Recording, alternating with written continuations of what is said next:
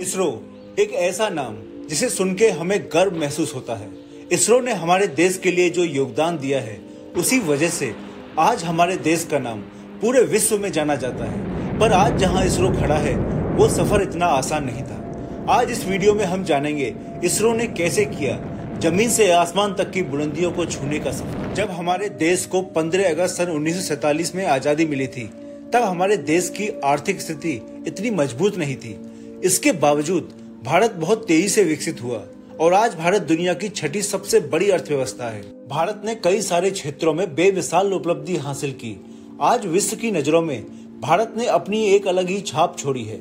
इसके साथ ही भारत के स्वदेशी स्पेस ऑर्गेनाइजेशन इसरो ने विश्व में ऊँचा नाम बनाया है। इसरो द्वारा किए गए कुछ स्पेस मिशन ने दुनिया को हैरान कर दिया है, क्योंकि इसरो ने नासा के टोटल स्पेस बजट के 5 परसेंट बजट में ही अपने स्पेस मिशन पूरे कर दिखाए हैं। इसरो ने दुनिया का सबसे सस्ता मार्स मिशन पूरा करने का भी रिकॉर्ड कायम किया है। और क्या आप जानते हैं, इसरो की स्थापना भी 15 अगस्त को ही हुई थी। जी हाँ 15 अगस्त उन्नीस सौ उनहत्तर को, यानी आज से लगभग तिरपन साल पहले, साइंटिस्ट विक्रम साराभाई के योगदान से इसरो, यानी इंडियन स्पेस रिसर्च ऑर्गेनाइजेशन की स्थापना की गई थी।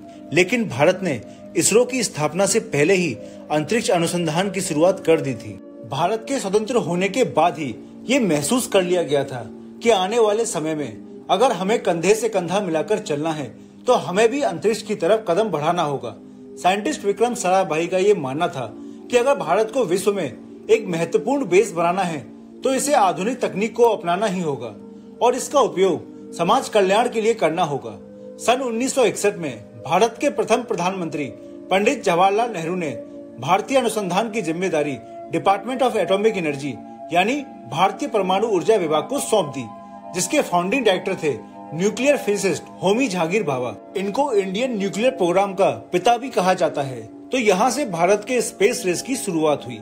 इसके बाद भारतीय अंतरिक्ष कार्यक्रम को बढ़ाने के लिए सन उन्नीस सौ बासठ में इंडियन साइंटिस्ट विक्रम सारा भाई ने डॉक्टर होमीजे भाभा के साथ एक कमेटी तैयार की, जिसका नाम था इनकोस्पार, यानी Indian National Committee for Space Research. और इसके चेयरमैन विक्रम सारा भाई बने। इनकोस्पार ने साउथर्न इंडिया के थुम्बा में Thumba Equatorial Rocket Launching Station बनाया, जहाँ से 21 नवंबर उन्नीस में भारत ने पहला यूएस द्वारा बनाया गया नाइकी अपाचे रॉकेट को सफलता पूर्वक लॉन्च किया। बाद में थुम्बा के इस रॉकेट लॉन्चिंग स्टेशन का नाम बदलकर विक्रम सारा भाई स्पेस सेंटर रख दिया गया। और यह तिरुवनंतपुरम में स्थित है। इसके बाद भारत को स्पेस प्रोग्राम की ओर और, और बढ़ावा मिला। फिर 15 अगस्त उन्नीस सौ उनहत्तर को इंडियन स्पेस प्रोग्राम को भारत परमाणु ऊर्जा विभाग से निकालकर एक स्वतंत्र सरकारी विभाग बना दिया गया जिसका नाम रखा गया इसरो यानी Indian Space Research Organisation.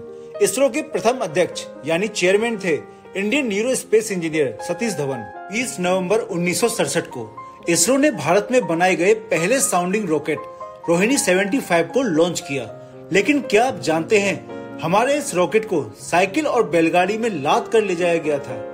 19 अप्रैल 1975 को भारत ने अपना पहला सैटेलाइट आर्यभट्ट को सक्सेसफुली लॉन्च किया। लेकिन इस वक्त भारत के पास खुद का सैटेलाइट लॉन्चिंग व्हीकल नहीं था। इस वजह से इसको रशिया के कापुस्टिन यार्क के लॉन्च व्हीकल कॉस्मोस 3M द्वारा लॉन्च किया गया था। इसके बाद भारत ने खुद के एसएलवी यानी सैटेलाइट लॉन्च व्हीकल को बनाने पर ज़ोर दिया। और फिर अगस्त उन्नीस सौ उनासी तक भारत ने खुद का लॉन्च व्हीकल बना ही लिया। और इसको बनाने में सबसे बड़ा योगदान था डॉक्टर एपीजे अब्दुल कलाम का, जिन्हें हम मिसाइल मैन के नाम से भी जानते हैं। इस एसएलवी जिसका नाम था एस एल थ्री इसको 10 अगस्त उन्नीस सौ उनासी में श्री हरिकोटा के सतीश धवन स्पेस सेंटर द्वारा टेस्ट किया। परंतु इसरो का ये पहला एसएलवी लॉन्च फेल हो गया था। लेकिन इसके बाद भी इसरो ने हार नहीं मानी और 18 जुलाई 1980 में भारत ने खुद के पहले सैटेलाइट व्हीकल से रोहिणी वन को सक्सेसफुली लॉन्च किया। अब भारत के पास खुद के सैटेलाइट बनाने और उसे लॉन्च करने की शक्ति थी, जिससे भारत ने बहुत सारे देसी और विदेशी सैटेलाइटों को लॉन्च किया। अब इसरो के पास दो प्रकार के लॉन्चिंग व्हीकल थे। पहला पी यानी पोलर सैटेलाइट लॉन्च व्हीकल जो है पोलर ऑर्बिट में लॉन्च करने के लिए। और वही दूसरा है जीएसएलवी यानी geosynchronous satellite launch vehicle, जो है जियो स्टेशनरी ऑर्बिट में लॉन्च करने के लिए। 15 अगस्त 2003 में, उस समय के प्रधानमंत्री श्री अटल बिहारी वाजपेयी ने अपने इंडिपेंडेंस डे स्पीच के दौरान भारत के लोनार मिशन की अनाउंसमेंट की थी। वो मिशन इसरो के लिए बहुत बड़ा मिशन था। इसरो का पहला मिशन, जो पृथ्वी के ऑर्बिट के बाहर मून एक्सप्लोरेशन के लिए किया जाने वाला था। और फिर फाइनली 22 अक्टूबर 2008 को सतीश धवन स्पेस सेंटर से इसरो ने चंद्रयान वन को लॉन्च किया। इसको मुख्य रूप से चाँद के केमिकल कैरेक्टरिस्टिक और इसके थ्री डायमेंशनल टोपोग्राफी का अध्ययन करने के लिए भेजा गया था। शायद आपको पता हो, इसरो चाँद पर जाने वाला चौथा देश है और हमने चाँद पर जाने के लिए किसी भी देश की मदद नहीं ली थी, बल्कि हमने खुद की टेक्नोलॉजी डेवलप की। इसरो के चंद्रयान वन ने पहली बार चंद्रमा पर पानी की खोज की थी, जो कि सदी की सबसे बड़ी खोज मानी जाती है। बाद में इसे नासा ने भी कंफर्म किया।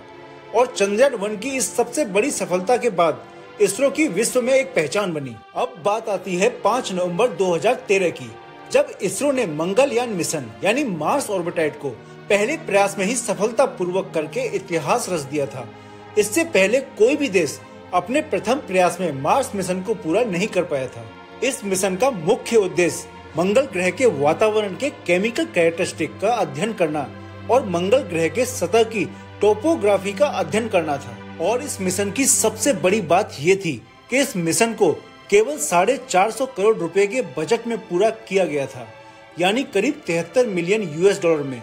मैंने ये बजट इसलिए बताया है क्योंकि नासा को सेम ऐसे ही मार्स ऑर्बिटाइड मिशन को पूरा करने में करीब 700 मिलियन यूएस डॉलर का खर्च आता है। यहाँ तक कि हॉलीवुड मूवी द मार्साइन को बनाने में भी इससे कई ज़्यादा खर्च हुआ था। तो आप खुद सोचो कि हमारा इसरो बाकी स्पेस ऑर्गेनाइजेशन से अलग कैसे है। कम पैसे में इतना बड़ा मुकाम हासिल करना हम भारतीयों की खासियत है और इसी वजह से विश्व के कई देश अपने सैटेलाइट लॉन्च कराने के लिए इसरो के पास आते हैं। इसरो ने हमारे देश की अर्थव्यवस्था को ऊपर उठाने में बहुत हद तक सहयोग किया है। 23 जून 2016 को इसरो ने एक साथ 20 सैटेलाइट को लॉन्च किया था और इसमें एक सैटेलाइट गूगल की थी। इसके कुछ महीने बाद 8 सितंबर 2016 को इसरो ने एक Indian weather satellite INSAT three को सक्सेसफुली लॉन्च किया। ये सैटेलाइट दूसरा सबसे भारी भरकम सैटेलाइट था। अब बात करते हैं उस ऐतिहासिक दिन की 15 फरवरी 2017 में। इसरो ने एक साथ 104 सैटेलाइट को लॉन्च करके वर्ल्ड रिकॉर्ड कायम किया। और खास बात ये थी कि इन 104 सैटेलाइट में से केवल तीन सैटेलाइट ही इंडिया की थी।